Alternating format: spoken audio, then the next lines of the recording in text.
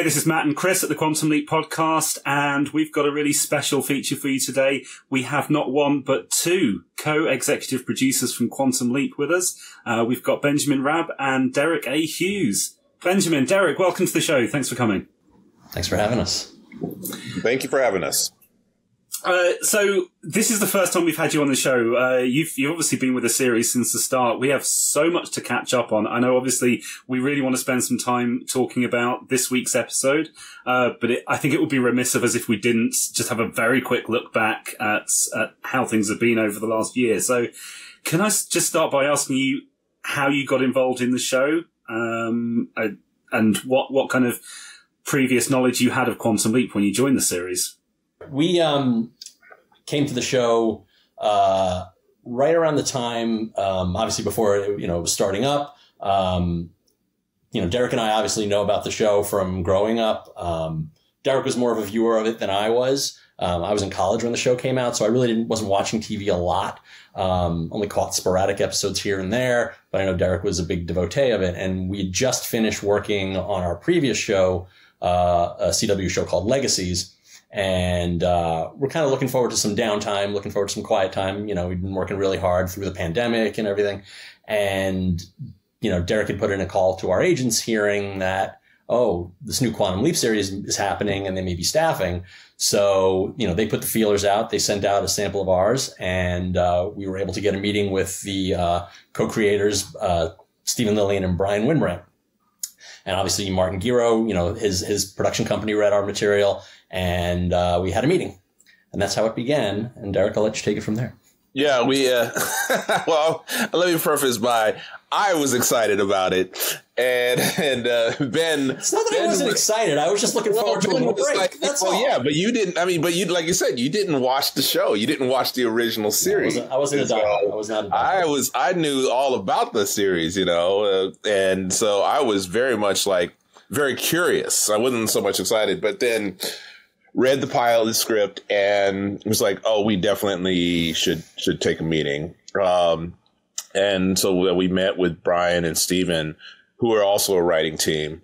We just hit it off because it was like I think it was like one of our first times that we ever had a meeting with like a writing team and a for a for a show yeah. uh, that was running a show. So it was like we had so many like just similarities and we were just like really you know just uh, you know simpatico in that in that way of like we were like oh we walked away from it was like you know what? Even though we said to ourselves that we were going to take some time off and just work on our own things i was like we'd be remiss to you know uh, not leap at this opportunity. And and uh, then Unintended. they and and they uh they they felt the same way and we got the uh, offer to come come aboard and and uh, join the show. And so we were right there from the very beginning. After um, they had already uh, greenlit the the pilot that was shot, uh, that that was originally shot, that eventually became uh, another episode. Because then what happened was that the studios network decided that that wasn't the right way to launch the the the the um, the se- the first season of this show, and they wanted to you know give uh, everyone a chance to try to figure out another way to do it, and so and that included like it was it was the the original pilot was shot up in in Vancouver and and so we were uh, you know told like hey actually everything's going to be shot down here in la and so that was another reason why we were excited about like working on a show because this will be our first show that we've ever had a uh, chance to work on a show that's shot here in la and so it changes everything you know like when you when it's in your backyard like uh literally like less than 15 minutes away from where we live it's you know you're on the lot that makes a big difference of versus traveling, you know, the air travel, hotel, and just being someplace else all the time for whenever you're working on your episodes. So we, um, one, yeah, it just all sort of came together, and we're very excited. And so coming coming on board and uh, working with the rest of the staff, then it was just go go go from season one all the way up until now. Actually, I mean, there was a little bit we're of still downtime. go go going. Yeah, yeah, we're still going. Yeah, we're still going. Uh, you know, there's a little downtime uh, for about a good five months, but that was uh, for another whole another reason. I'm I'm really curious, just kind of um, looking through your journey since that point up to today. I may be putting words into your mouth, so tell me if I've got this wrong. But you you wrote Salvation or Bust. Neither of you were around during the Old West. You wrote a medical drama. I don't believe either of you have personal medical backgrounds. And then we have One Night in Koreatown, which eh, appears to be a more personal story. It's something set in Los Angeles. Is is this episode this week something that is more relatable for you? And if so, why how why did that come after two episodes that are maybe pushing the bounds of creativity for, for you both? Well, to give you a little context for the, the different episodes that we mm-hmm. have written. So, Salvation or Bust, um, you know, came about uh, right after uh, Bryan and Steven, you know, left and, and Martin, you know, took over in earnest and he really wanted to do a Western. And uh, ironically, the, the spec script that the, everyone read that got us this job was a Western. So it kind of, it, it sort of all fell into place for us there. Um, while we were on set making that episode, the room was breaking episode 10 and we were, you know, we're just working on shooting, shooting Salvation or Bust. And then on the last day, Martin was like, Hey, we've got, you know, this episode broken. You guys did such a good job with this one. Would you be willing to write the medical one? And we're like, okay, well, neither of us have any expertise in that arena. And, you know, other than having watched like, you know, numerous episodes of like ER, mm-hmm. you know, um, or Grey's Anatomy, you know, and, and he's like, I think you guys are going to crush it. And we're like, well, okay, now our job is to crush it. So, you know, we always look at any, any story we're given as a challenge. And if it's something, whether it's in our wheelhouse or outside of it, we always look to push ourselves to another plateau of, of our ability. You know, sometimes our reach exceeds our grasp. Sometimes we manage to, you know, stick the landing. And I think with, with that episode, you know, I, I think you know, I can speak for both of us. I think we're particularly proud of it because, you know, the room did an awesome job of breaking that story and giving us most of the raw material we needed to sort of fine tune things here and there. But when we sat down to actually write it, it, it's funny how you realize the things you have inside you that you didn't know were there. That yes, I, I, I have no medical experience whatsoever, and which is why we tried to keep the the the, the, the to a minimum, um, and and really sort of focus on the characters and the emotions, which is what this show does so well, which is what the original did, which is what we are the you know the inheritors of that legacy, and we tried to carry that forward.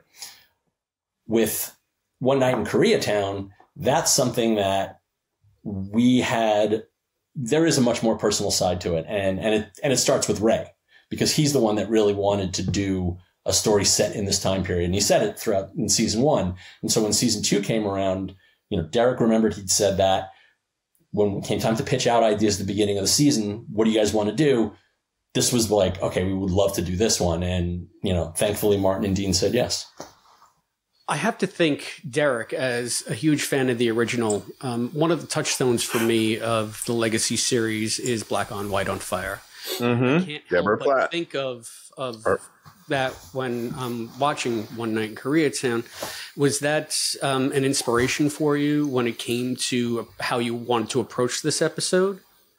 Yeah, I mean, it definitely was an inspiration, and you know, all credit goes to to Deborah Pratt. That was her episode, and it's a it's a very you know important episode in in quantum leap lore. Uh, and but it was it was interesting because in that case, it, it you know it was like Sam leaps into uh, uh the body of a person you know that's that's a black black man, right? And and so it's it's the we already walked in those shoes in that story, and it was like again, you know, having Ray be the star of your show.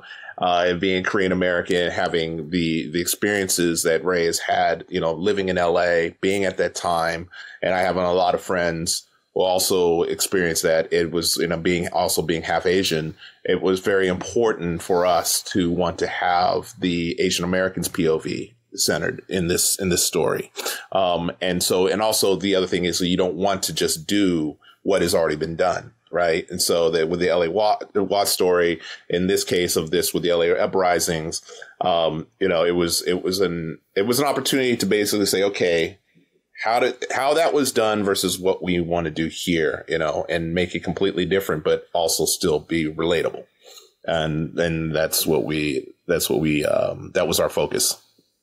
So, I mean, just to follow up, um, were there any special considerations that you took into when you were trying to figure out the points of view? I mean, for for it to be set in Koreatown, what kind of research did you have to do? And I, am just curious to know, like, how you got the characters you got because you had a fairly wide representation of different types of people, mm-hmm. and it was also a story that was very. Um, very adept at dovetailing into Magic's backstory, which was a nice way to bring the project side into it all.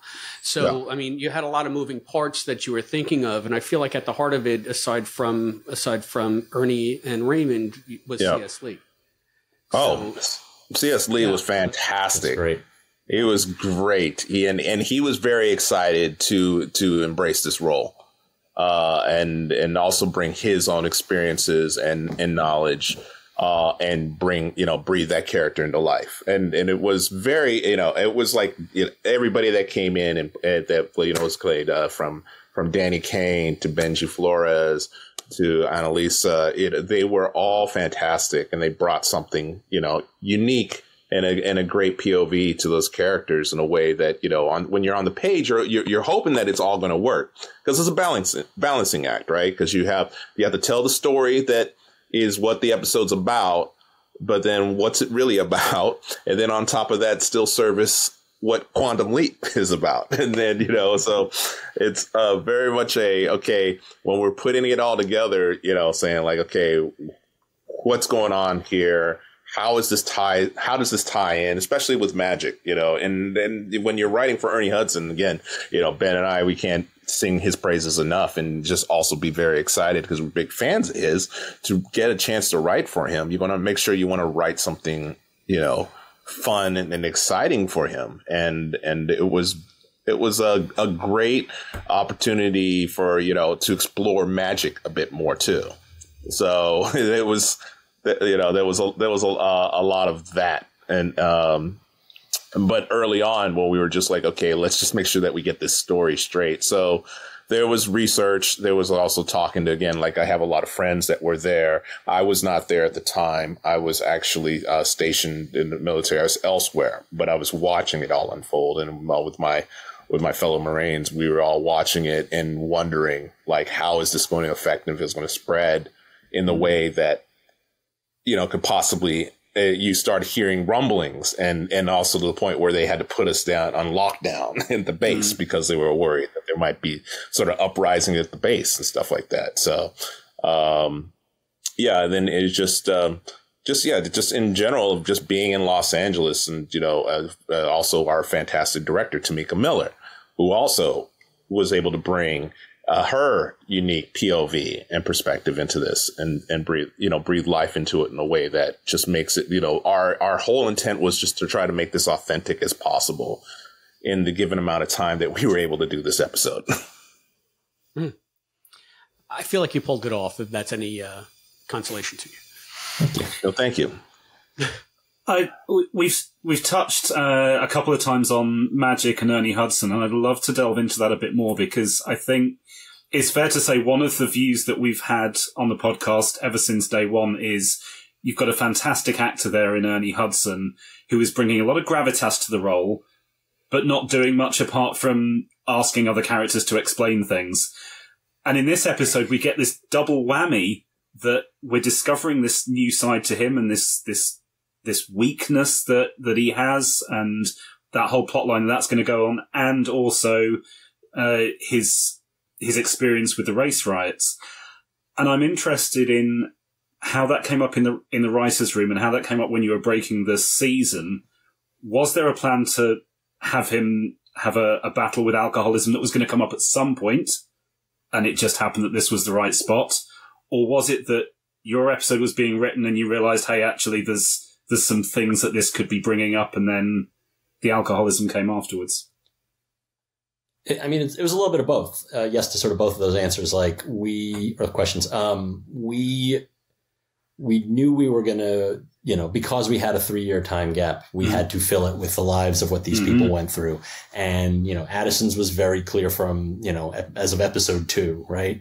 Um, Magic's was, I forget when it came about, but yes, knowing that he was going to be the one going into, into the imaging chamber, you know, being hologram for an episode, we, we, we jumped on that. We're like, okay, this is the perfect chance to sort of dig into it and, and show the repercussions of those three years on this particular character. Um, being able to tie it into Magic's backstory, you know, during his early days in the military, before Sam ever leapt into him, and you know, finding that sweet spot window where we're like, oh, the math kind of works Mhm. out that he might have been around Detroit at that time, and in, in, in a freaky twist of fate that neither Deric or, nor I were aware of, is that Ernie Hudson was actually in Detroit that summer.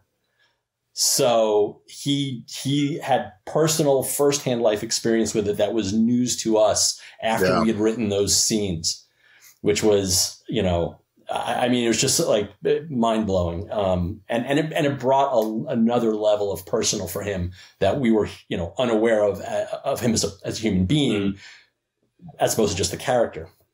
Um, so yeah, it, I mean, it was weird serendipity that it worked for, out for us that that this episode became the crux point for Magic and, and the revelation of that uh, of those three years, what he was going through, as well as um, you know being able to say, "Oh, this is the episode where we reveal it." You know what Mhm. I mean?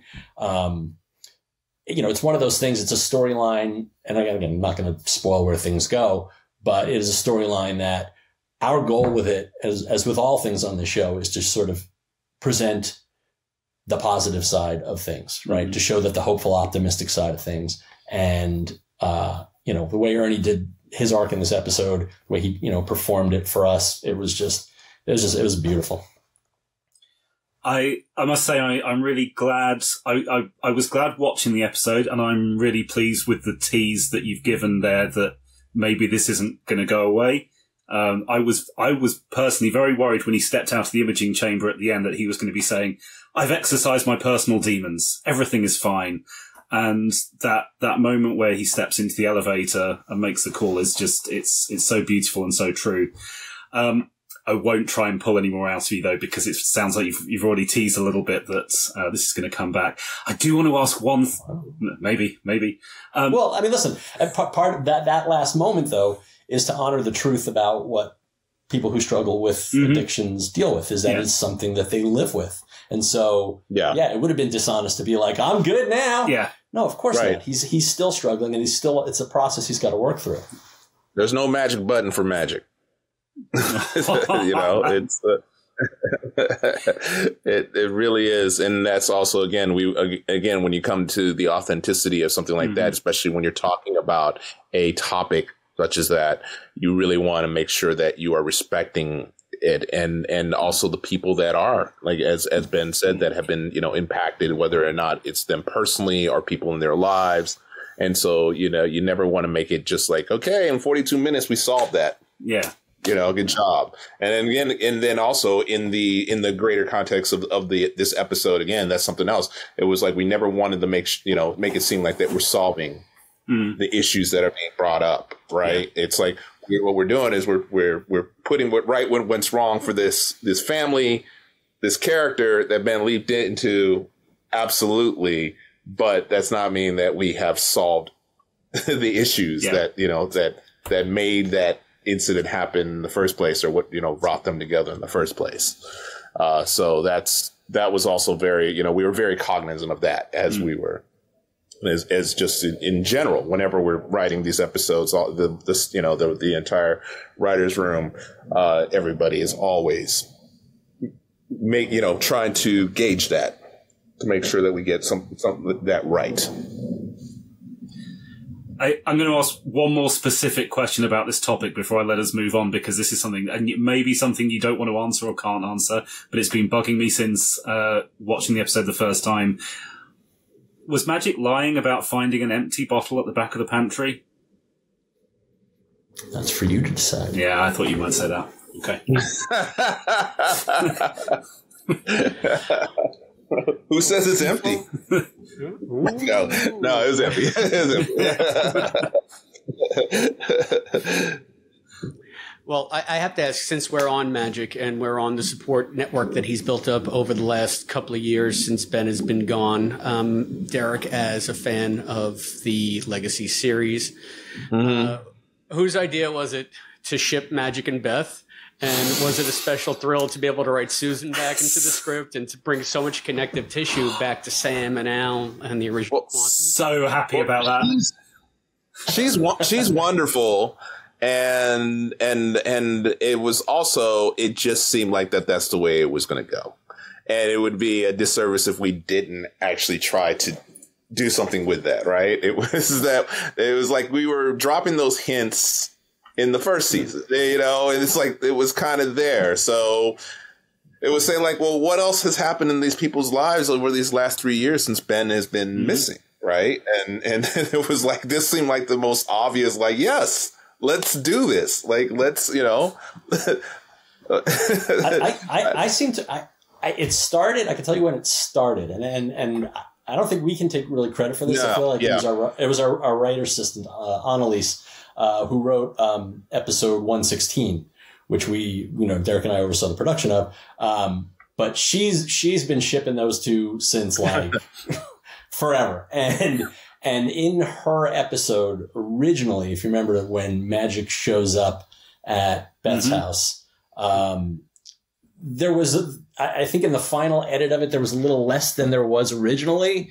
There was a little bit more of a moment between the two of them than what ended up on screen. And that was sort of the, the, the genesis of, well, well, okay, this is where we're going to pick, you know, at least we have some, like we had written something that like, we're not just pulling this out of our, out of our asses. Like we're, it was based mm-hmm. on something that we collectively decided, let's play that. And even if it didn't make it to air, we were it was it was bubbling. Well, it was the, it was the fun moment when Janice like looks and said, "What's going on with you two? You know, it's like yeah. so yeah. we were like, okay, that's the moment. Let's run with that, and, and, and, and, you know, it just so it yeah. didn't get shot down. The idea was like, all right, we're gonna we're gonna keep going with this and see where this goes. So you know, when you see him buying those the the, the earrings, it, you know, episode the, two, yeah. episode two, you're just like who those earrings for? You know, mm-hmm. it's like mm-hmm. what's going on. yeah, and we've already said this in the main show, Matt. I told you so. I told you so. Oh yeah, I, I know. I, you were team meth from the start. I, I did not. Yeah, say we, we, we've been calling them meth. That's that's the ship name for them. and, and so a, a, a, a, double whammy alongside Ernie Hudson, um, Susan Diol su- such a great performer from the original series. And then yeah. last year we had her show up. She did some some work, but we we didn't see what she's capable of as a performer until this week's episode, and that was yeah some some great stuff. So another another great opportunity to see a, a good actor doing what they do. Well, it's all, I mean, again, as, as someone who came to the original series later, uh, and, and, you know, watched all of it to sort of get caught up to speed, you know, having her, knowing that, that, that Al had, there was someone in Al's life that was so important to him. And that person is now in our world. That person is, you know, just as much an appendage of the show. And I mean that in a, in a positive way. I don't mean that in a negative way.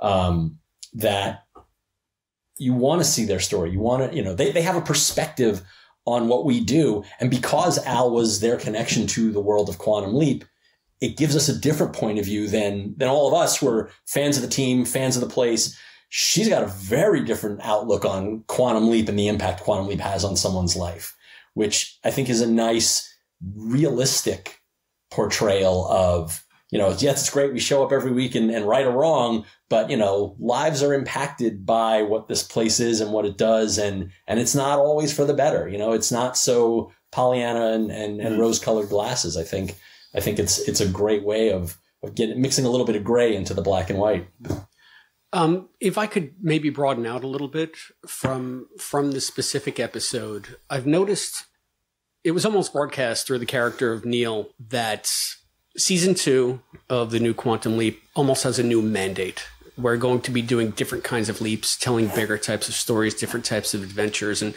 I'm curious to know, I know that you guys had no hiatus between the end of season one and the beginning of season two, but there is such a marked difference in the feel of the show. And okay, we can use the time jump to sort of explain that, but it just feels like a, a new show. I've said this is almost like the, the, third iteration of Quantum Leap to me because season one was it had it was just such a different feel. Like I, if you can speak to maybe broader topics, concerns going into season two of where you wanted the show to be and what you wanted to accomplish this season as opposed to last season. I don't know if you had a mandate in the writer's room or I'm just so fascinated by the creative process mm-hmm. because I just see so much more going on this season. Yeah. I mean, I think it starts with at the top starts with the leaders. So, you know, we have our, our showrunners, fantastic showrunners, Martin Gero, Dean Georgaris. They are, you know, uh, they're the captains of the ship, right? And and I think with, when you when you have them at the at the helm, right, it's sort of this idea of coming into season two. We figured out most of the sort of the trouble spots, the things that worked that didn't work, and as we roll, and then, you know, and, and having the opportunity because we were able to do 18 episodes, you know, it's like you can see the confidence in the storytelling, and, uh, you know, growing so that by the time you get to the end of that season, everybody kind of knows what this show is. So then going into season two, where we had a roadmap of like, okay, this is what we want to see and this is how we want to do it, we were able to just roll right into it um, and so I think it was some more of the, it wasn't so much as a mandate as it was, it was like, okay, how do we top ourselves? How do we keep this going? And what works and what hasn't worked? And let's make sure that we keep doing the things that work more than things that don't. And it's still a trial by fire because you just never quite know until you're, you know, it all comes together every episode is just sort of because it's so like you said it's so different. And that's what makes the, the show so much fun. Is like every week is just a it's a new treat. It's not you know it's never the same sort of story and itself other than the mission and the, you know the main character trying to you know again put right what's wrong and trying to find a way back home and the team. But you know we it's like you, you have that shakeup that happens right? That that that that happens in from after being three years later. So all the characters are kind of in very different places uh and you know different starting points. And like yeah and, and you're right chris it's very much sort of like almost like a third iteration of like starting again from from you know from from from uh, from the ground floor well, and, and every you know every season arc is different, right? Like very much season one, we were looking to to really honor and and homage the the the original show, like drawing on things like Leaper X and you know the idea that you know the the, the memory forgetting, you know the spaghetti, the Swiss cheese brain, and all that stuff. Like uh, going into season two, we really like we, we did it. We told the story that we needed to tell that ended up with Ben where he ended up with at the end of the season and set him on the path for the next season.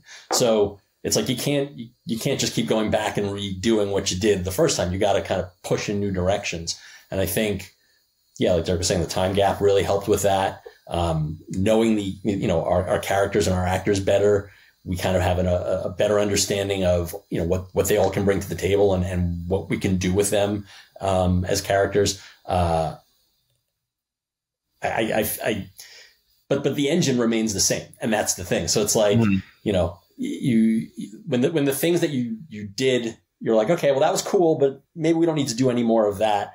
That makes way for other things to sort of fill the space and and put in things that are it just goes deeper. It's just an opportunity to go deeper with things. And I think I think this year I feel like with each episode we've really had a lot more room and depth, and we've introduced new elements, right? Which I won't talk more about, but yes, it's okay. We don't. We all know Tom's the bad guy. We all um, I'm not saying anything about Tom. We actually haven't. We haven't. We haven't uh, had a chance to be on set with with with Peter. Um, you know, five was uh, he was not in that episode, so mm. our paths have not crossed. So we don't know. he hasn't tried to kill either of us. so- Yeah, exactly.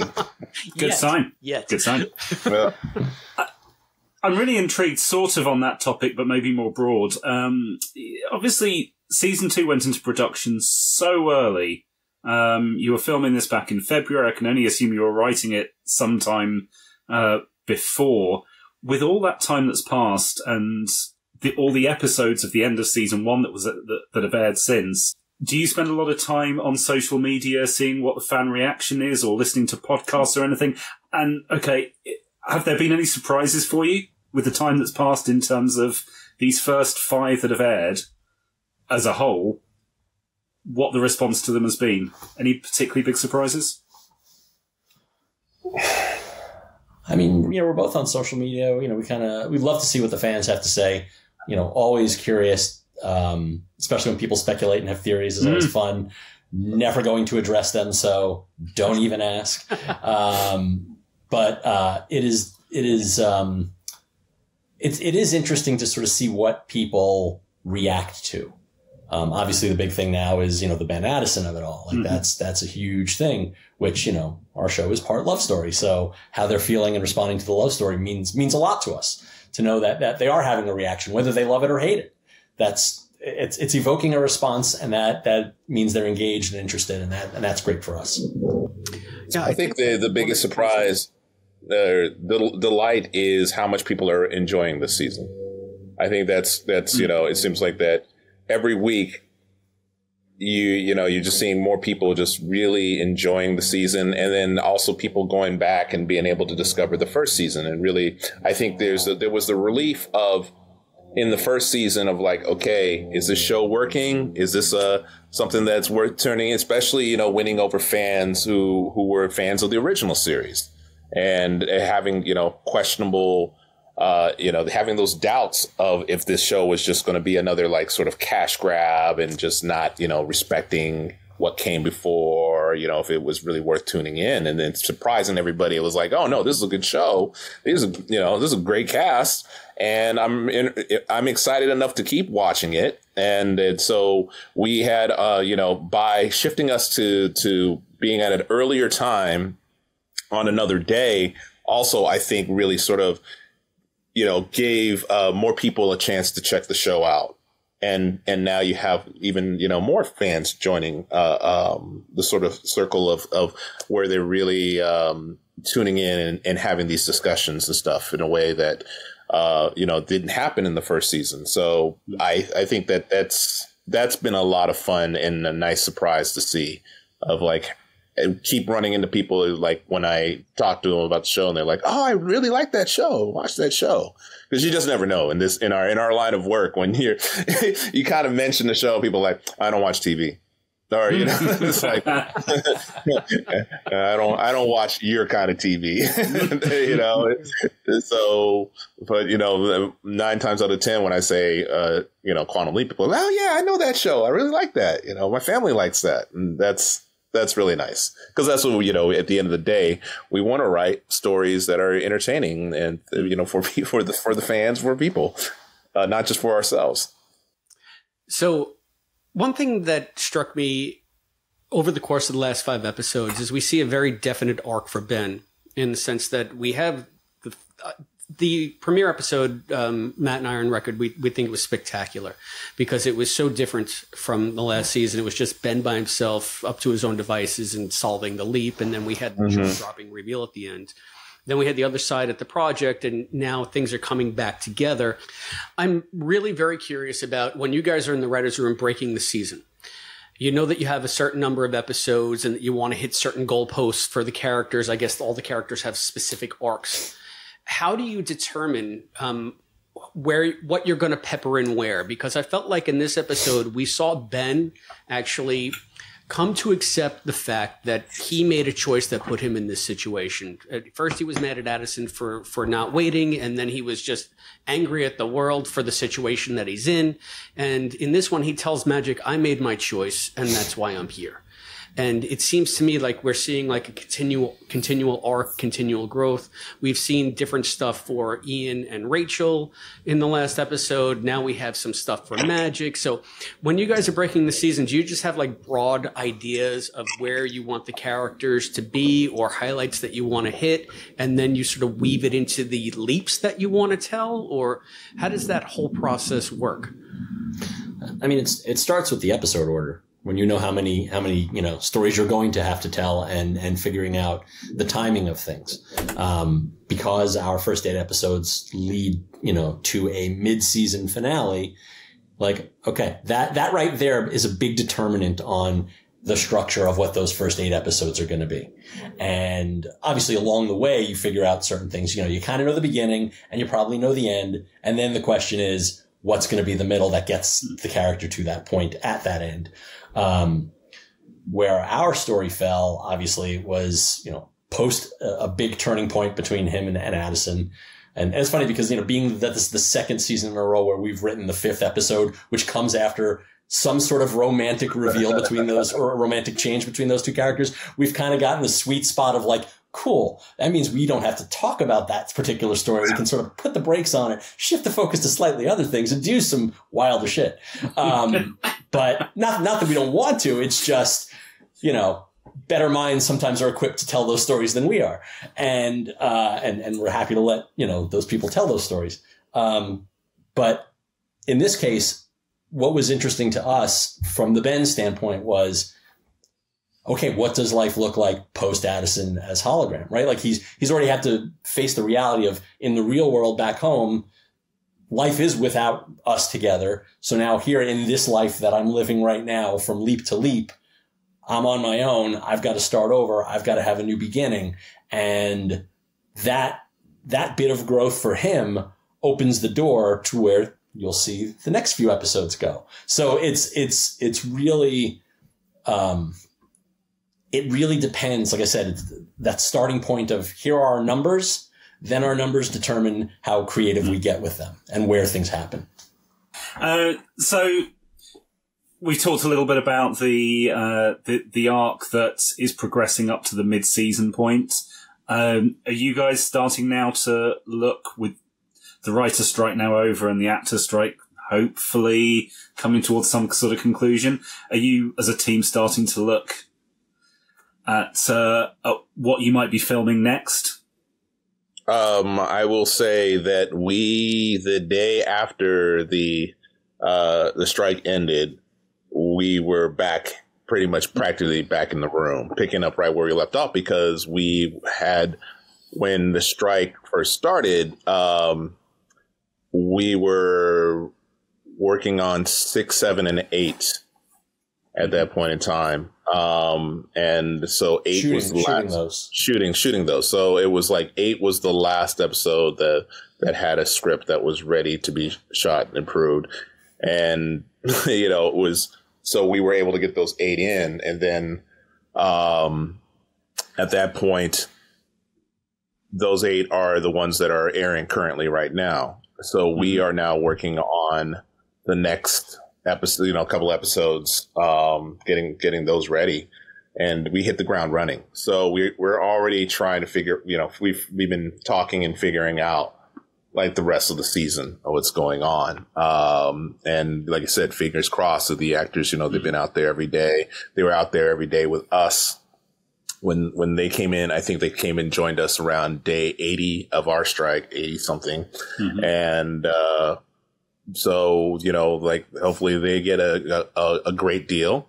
And, you know, maybe this will be a different story in a, in a week from now um, of, of where, where things are going. Because we're, yeah, it's like, it's very much an interesting sort of thing of coming back in, figuring these stories out. But the problem is you get to a certain point where Mhm. you don't have actors. So what you know what do you do and how do you you know it's like so you have to sort of plan accordingly. But as the writers you know we're just our plan our, i mean uh, you know our goal and mission is to figure out the rest of the season uh, make sure that tracks. And so coming back into it we were able again to sort of have that sort of unique opportunity to say like, okay, those first first eight episodes that we did this season, these are things that we're working. This is stuff, but you know, there's other things that we need to figure out, and we need to make sure that we figure out going forward. Um, so, like, without getting into it, you know, without spoiling anything, there are definitely storylines that you have to sort of like lay out.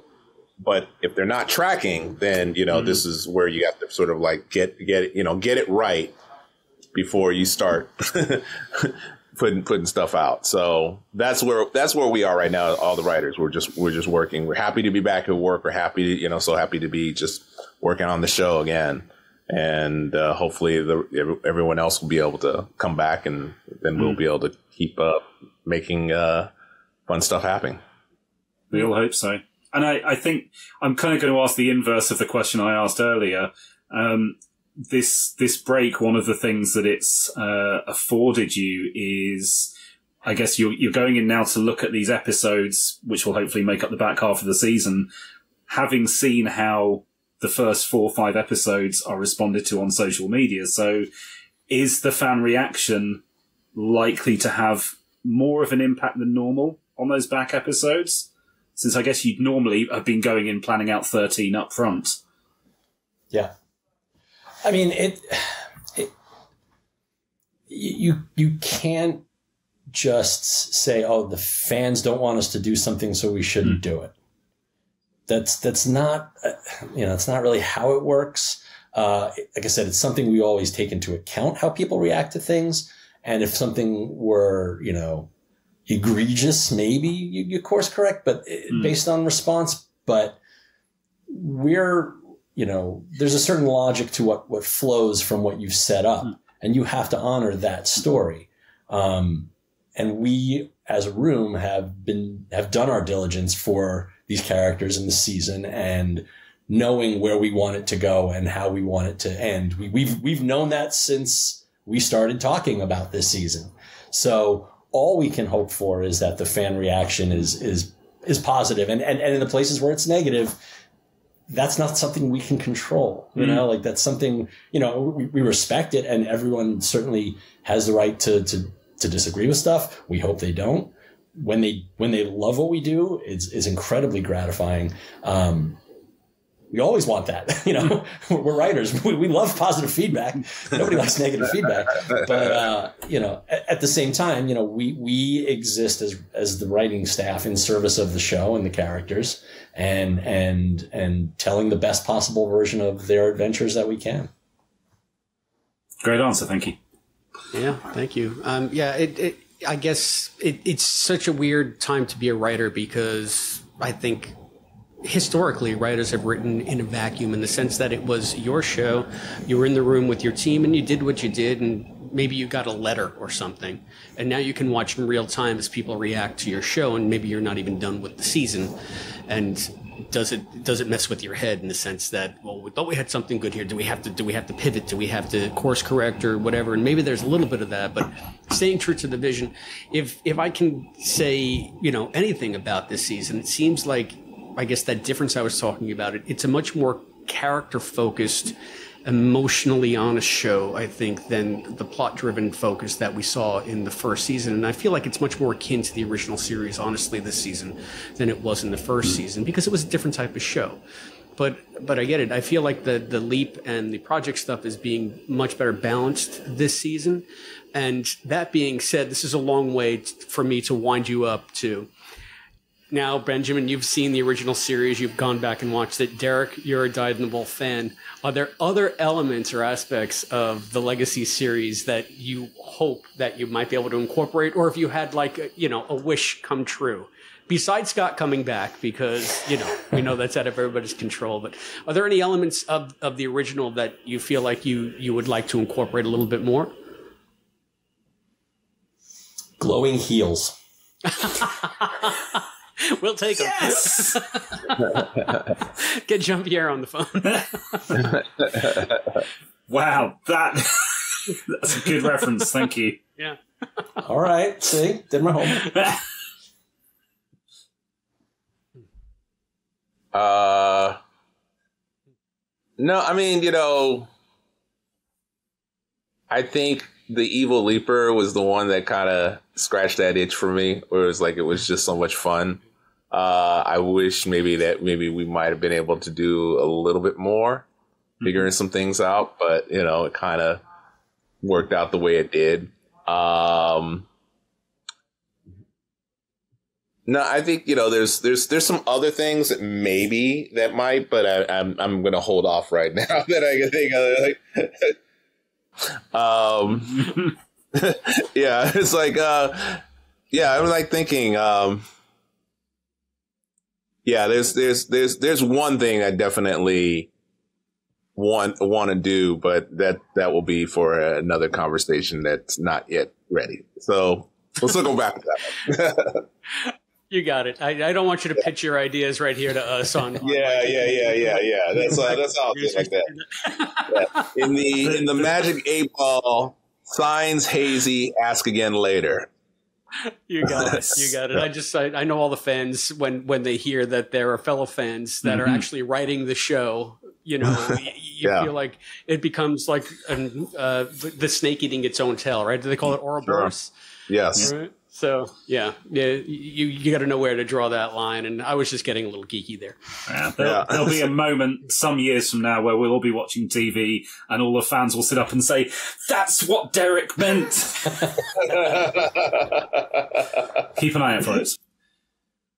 Um, Ben, Deric, uh, you've you've given us a fantastic insight into uh, what's happening in season two and some really great teases for what might be coming up. Uh, is is there any final words you want to share with the the listeners about One Night in Koreatown or the next few episodes that that we've got to look forward to? I mean, I'd just like to say thank say thank you all for watching. Um, it, it means so much to us to know that you guys care as much as you care about the show and these characters. Um, and you know, we we always value your feedback, and we always want to hear from you. And love it or hate it, you know, you're, you're the fans and, and, you know, we are all in this together. Yeah, it's like it's just so it's just so great that you know people have been enjoying the show and all, especially after all this time that when we've been putting all this work into it, uh, you know, from from the cast to the crew, just incredible amount of work that was happening because they had no breaks. They would just went rolled right into season two to try to get ahead, and so that you have these eight episodes um, and and you know to see it all pay out, you know, pay off in the same in this way. Like for us, one night in Koreatown, we didn't get to see a, a, a cut of this until three weeks ago. I mean, it was like we had to wait until the strike came to an end for us to be able to jump back in and see everything that we worked on. You know, it's like mm. so it was it was a rediscovery, and so to see it all come together uh, it was just be, you know, I think that I speak for Ben as well that we're very proud of this episode. We're very proud and and just very proud and happy and, and grateful to be working on this show in general. It's just it's been such a, a, a great experience for us, and we will, and so we hope that it's been a great viewing experience for everyone else. And so just uh, stay tuned and keep watching because there's more to come. oh boy. Uh, well, yeah, you absolutely should be proud of this week's episode, and uh, yeah, I think the the fans are all grateful for these eight and optimistic for more around the corner. So, we're thank sure, sure. thank you so much for your for everything you've done and for your time today. No, thank you guys. We had a lot of fun. This was great. We really appreciate you when you're reaching out. So, thanks so much.